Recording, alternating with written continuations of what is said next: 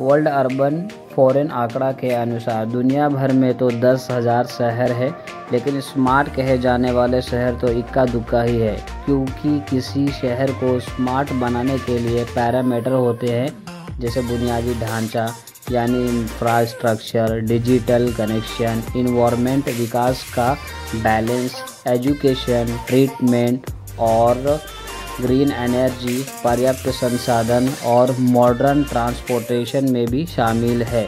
ऐसे में सात स्मार्ट सिटी कौन सी है?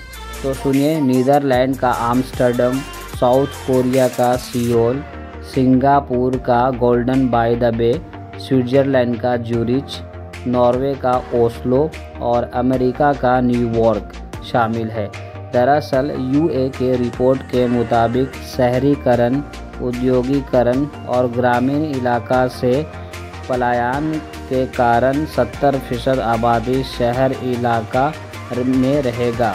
इसीलिए दुनिया को स्मार्ट बनाने के कॉन्सेप्ट पर काम कर रहे हैं।